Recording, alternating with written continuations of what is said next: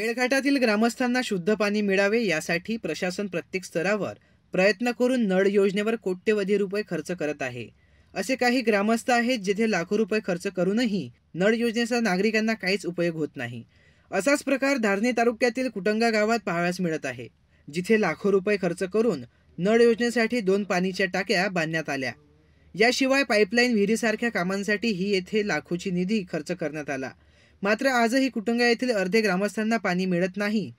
कुटुंग गावात व परिसरात राहणारे नागरिक आजही पाण्यापासून वंचित असल्याचे दिसून येत आहे. आधे गांव में पानी मिलता है आधे गांव में नहीं मिलता पानी अ, तो नई पा- यहाँ पर अ, टाकी वगैरह सब बनाए ना? आओ बना है फिर गांव के लोगों को पानी? आए? आधे लोग को नहीं मिल रहा आधे लोग को नहीं मिल रहा? कौन मोहल्ले में नहीं मिलता? नीचे में. नीचे डाला में। हमको हमको कहीं पानी यहाँ पे पूरा मतलब में पानी आता। यहाँ पे एक भी पानी नहीं आता ना। नहीं आता? हाँ। योजना बनाया क्या तुम्हारे गाँव में?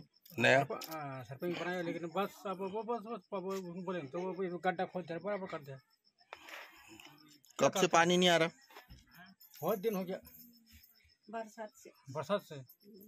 और ये नया टाकी बना था इससे?